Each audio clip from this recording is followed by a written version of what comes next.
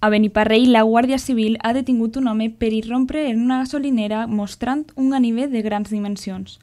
L'operació va començar el 15 de març, quan un individu va entrar en una gasolinera amb la intenció d'intimidar a l'empleat per sostraure la recaptació de 150 euros de la caixa registradora. Els investigadors van aconseguir localitzar el número de la matrícula del vehicle utilitzat per a la fugida i comprovar que era un cotxe robat. Després de les investigacions, els agents van aconseguir identificar el conductor, un jove de 22 anys i nacionalitat espanyola que va ser localitzat a València i al que ara se li atribueix un delicte de robatori amb violència i intimidació.